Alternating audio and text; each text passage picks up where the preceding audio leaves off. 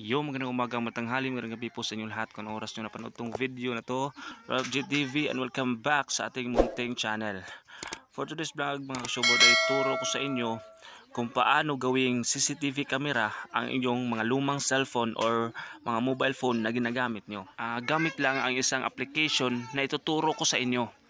Ah, ito ay sobrang bilis lang dahil hindi na kailangan pang mag-login sa isang application na ito ito isang application na pwede, mo nang malaman ang asawa at anak ninyo sa loob ng bahay ninyo.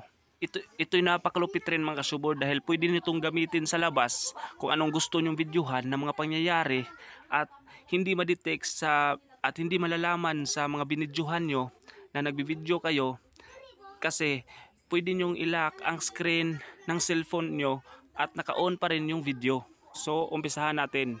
Una, punta kayo sa Play Store at at i-search nyo yung CCTV camera recorder. Yan, CCTV camera recorder at i-install nyo yan mga showboard. Dapat i-install nyo yan yung CCTV uh, video recorder. Pagkatapos nyo ma-install mga showboard, uh, i-open nyo mga showboard.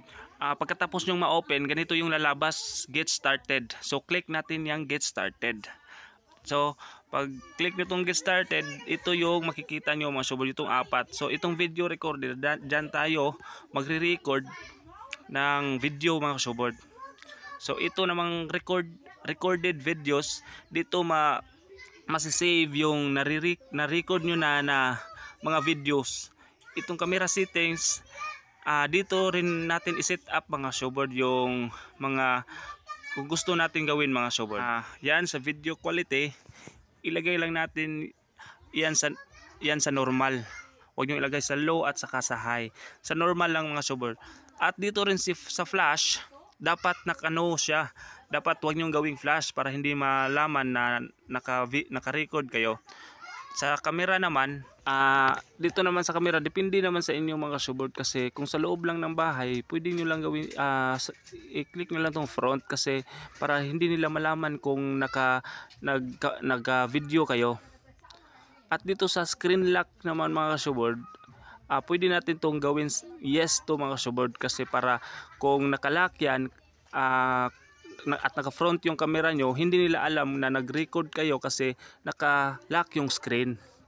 Yan, pag click nyo yung screen lock, yan, dapat ilagay nyo yan sa yes. At dito naman sa silent video, uh, huwag nyo ilagay sa, sa yes kasi gusto naman nating marinig yung naka-record sa video na gusto naman nating marinig yung boses. So, ilagay natin sa no. At dito sa show preview, dapat sa no lang yan mga showbird.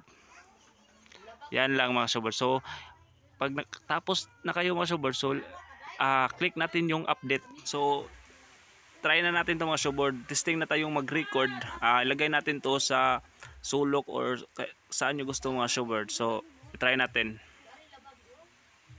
So uh, pag click natin to ito yung lalabas so click natin mga showboard para mag record na tayo testing natin kung mag record na tayo mga showboard yan uh, testing na tayo mag record play natin yan back automatic na patay yung screen mga showboard. So hindi nila malalaman na nagre-record kayo mga showboard kasi patay yung screen.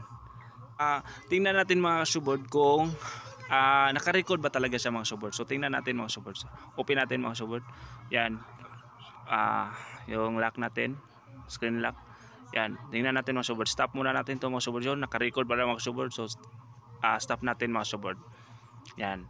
So tingnan natin mga showboard sa uh, tung, sa recorded videos mga showboard, sa recorded video.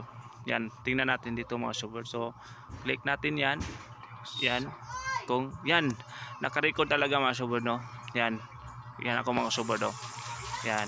Pakastig talaga mga showboard kasi pwede niyo nang gamitin yung mga lumang cellphone nyo. Uh, lagyan niyo lang ng mga yung mga may malalaking memory. So pwede niyo tang gamitin, pwede niyo ilagay sa sa, sa sulok ng bahay nyo at pwede nyo nang malaman kung anong ginagawa ng asawa at mga uh, mga anak ninyo mga showboard uh, yun lang mga showboard kung may natutunan kayo huwag kalimutang i-subscribe at i-click ang notification bell para updated kayo sa sunod natin ng mga videos mga showboard thank you. God bless. Keep safe mga showboard